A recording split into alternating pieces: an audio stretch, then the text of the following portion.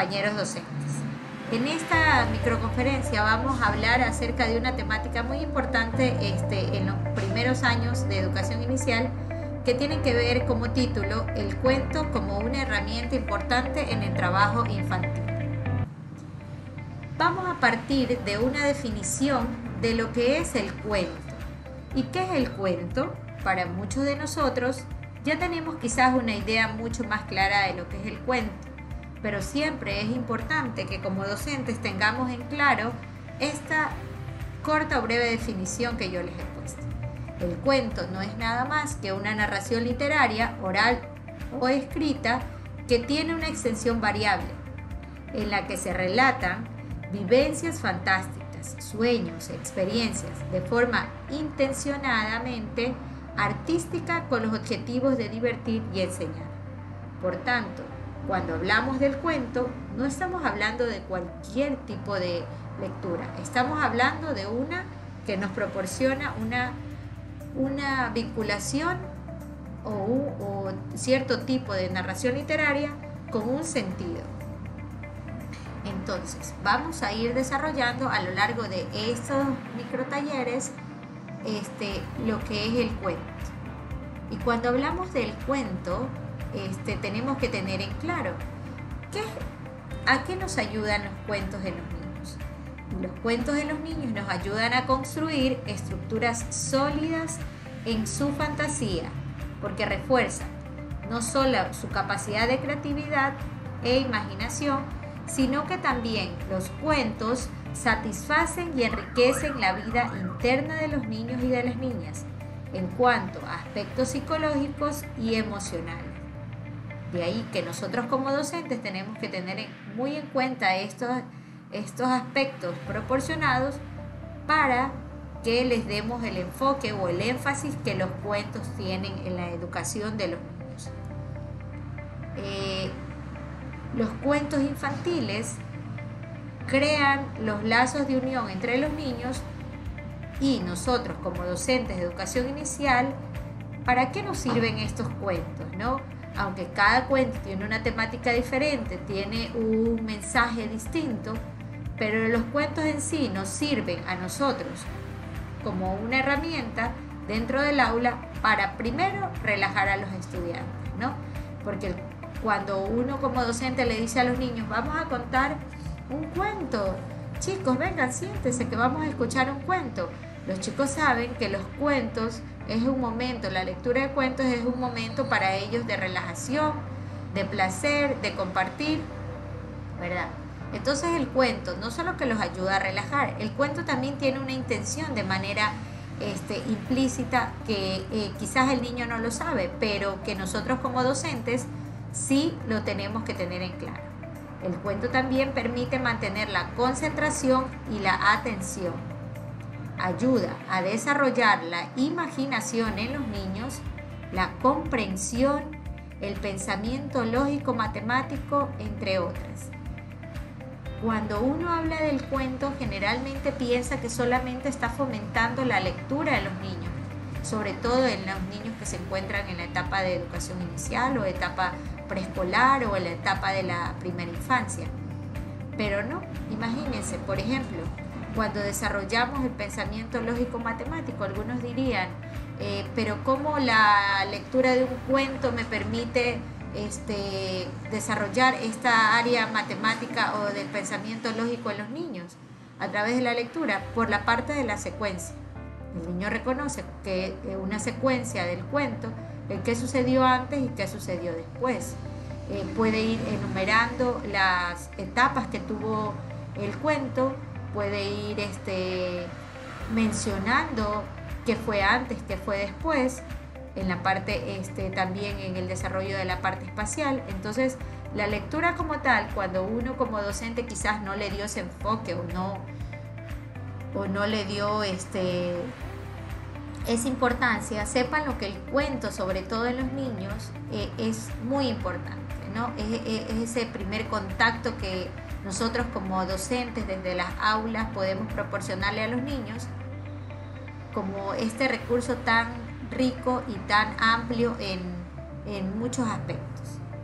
Entonces, el cuento es una herramienta de aprendizaje, de formación e información que está conformada para nosotros que ya como docentes lo sabemos por una introducción, por un nudo y por un desenlace.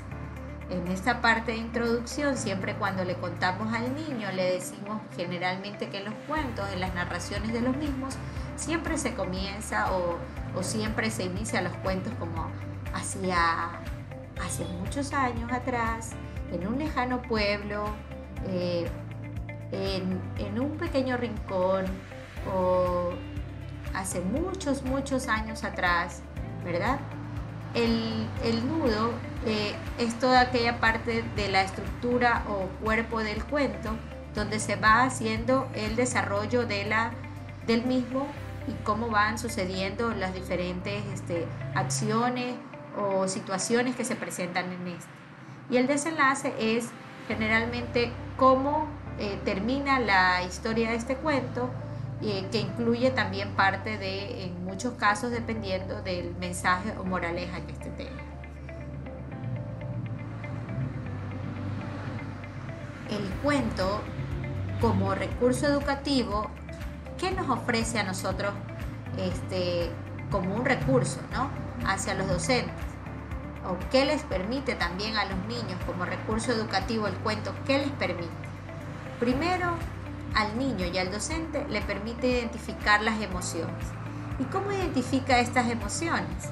Porque cuando usted le narra el cuento, aparte de ponerle énfasis, obviamente, el tono de voz, quizás la parte auditiva, una música de fondo al contar el cuento, ese, eh, ese entusiasmo con el cual lo hace, esa representación que como maestros nosotros le damos al cuento, eh, esas variaciones en, los tipos de voz que muchas veces hacemos, el niño puede identificar las emociones de los personajes, pero nosotros también como docentes podemos identificar las emociones que el niño demuestra a través de lo que uno les va narrando. Entonces así, este recurso del cuento sirve no solamente como una forma de reconocimiento por parte del niño, sino también ayuda al docente a reconocer las, diferentes manifestaciones de emociones por parte de los niños. El cuento como recurso también favorece el desarrollo y la adquisición del lenguaje. ¿Qué forma más eh, lúdica o qué forma más divertida para el niño resulta eh, el cuento para el momento de adquirir eh, o desarrollar el lenguaje? ¿no? Lo hace de una manera que para él resulta muy fácil el niño al escuchar palabras nuevas, el niño al eh, ir escuchando la narración del cuento, va adquiriendo e, este nuevo vocabulario que enriquece su, lenguaje. Entonces, así el niño pasa de, de tener un conocimiento de ciertas palabras, quizás mínimas, a tener un conocimiento de mucho más palabras nuevas en su lenguaje y así va fortaleciéndolo también. Fortalece la comunicación y la expresión verbal. Cuando el niño ha sido eh, muy motivado a través de los cuentos a, ir este, fortaleciendo esta lectura, eh, también el niño va a, fortalecer esa expresión verbal. ¿no? El niño logra comunicarse mejor, eh, logra hacerse entender de una manera mucho más amplia, fortalece, como ese mismo eh, recurso lo dice, fortalece esa expresión verbal, ¿no?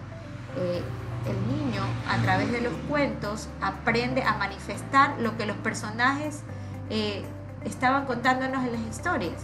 Entonces él, si uno dice, ay, por ejemplo, un caso de un cuento, tomémoslo como por ejemplo, de un cuento del, del astronauta que se fue a la luna, el niño le va a decir, si es que se fue a la luna, el astronauta, quizás palabras que para él no eran tan fáciles de manifestar anteriormente, pero que logró este, convertirlas en esta expresión verbal mucho más fluida.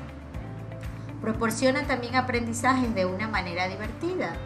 El cuento no solamente que es un recurso eh, que utilizamos dentro del aula con una finalidad, el cuento también este, proporciona este aprendizaje, pero de una manera tan divertida porque el niño se divierte, sonríe, eh, siente que está aprendiendo a través de una manifestación de, de, juego también, porque muchas veces no solamente los cuentos son leídos por nosotros como maestros, sino que son dramatizados, interpretados y puestos en escena por ellos mismos. Entonces, así el niño logra ir haciendo esta secuencia de los cuentos de una manera muy divertida y muy este, agradable para él. Eh, también el cuento despierta en los niños el gusto por la lectura. ¿Quién como docente dentro del aula puede decir que el cuento no ha sido uno de los recursos que como docentes nosotros más utilizamos para fomentar la lectura?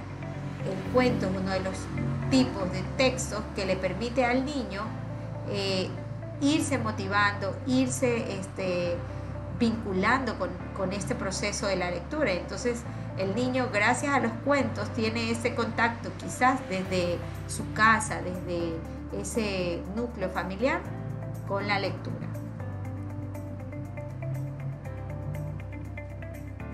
Hay una frase muy importante que me gusta de John Ruskin que nos habla de que educar a un niño no es hacerlo aprender algo que no sabía, sino es hacer de él alguien que no existía.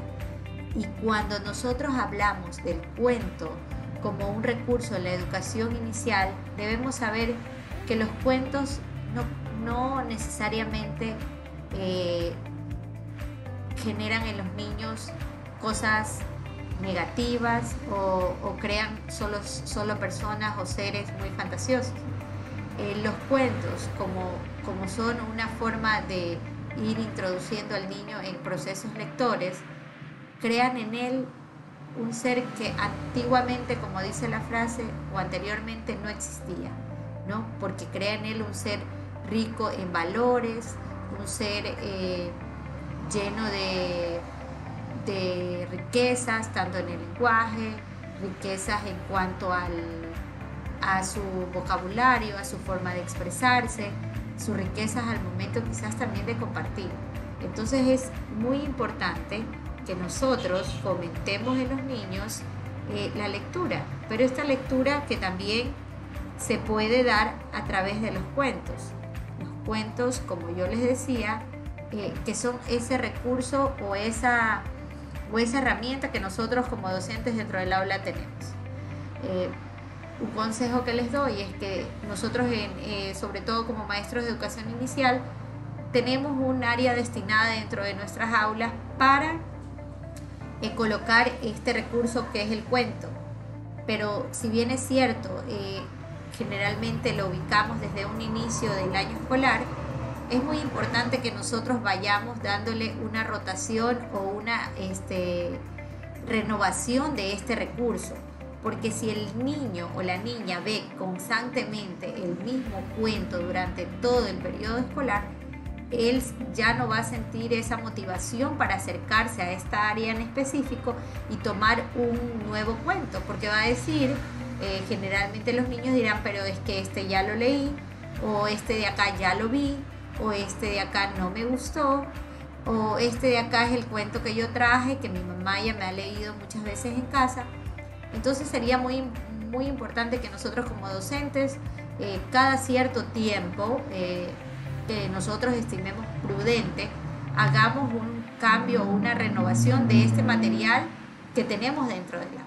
Por ejemplo, si nosotros tenemos una cantidad determinada de estudiantes y cada uno ha llevado un cuento para, como parte de su material eh, escolar, sería ideal que nosotros no los coloquemos todos, para que así el niño tenga ese, ese deseo de, saber que cada cierto tiempo nosotros vamos a cambiar de cuentos y van a llegar cuentos nuevos y así esté motivado, tenga esa incertidumbre, ese esa deseo de saber qué cuentos nuevos traerá la, la, maestra a clase y también buscar este, cuentos que no sean muy comunes, porque ese es otro quizás de los de las fallas que nosotros a veces como docentes podemos llegar a tener. El hecho de que constantemente eh, le damos hincapié o solamente fomentamos la lectura o eh, la representación o dramatización de cuentos tradicionalmente conocidos por los niños. Entonces,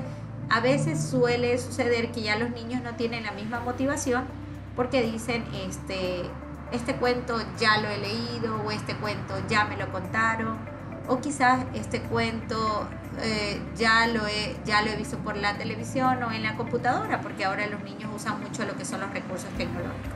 Entonces es importante que nosotros eh, tengamos en cuenta esta, estas pautas de cuentos eh, no, tan, no tan conocidos para que así puedan diversificar el, la gama de contenidos de los cuentos que ellos van a ver eh, que sean portadas distintas y que sobre todo de acuerdo a la edad también de los niños, las imágenes que contengan estos cuentos, a más pequeño sea el niño, más grande sea la imagen, para que así él aprenda más que por las, las escrituras que tiene en la parte baja, aprenda a través de lo que nosotros eh, este, en educación inicial conocemos como la lectura de, de imágenes. Entonces él va leyendo a través de de las imágenes, sobre todo en la, primera infancia.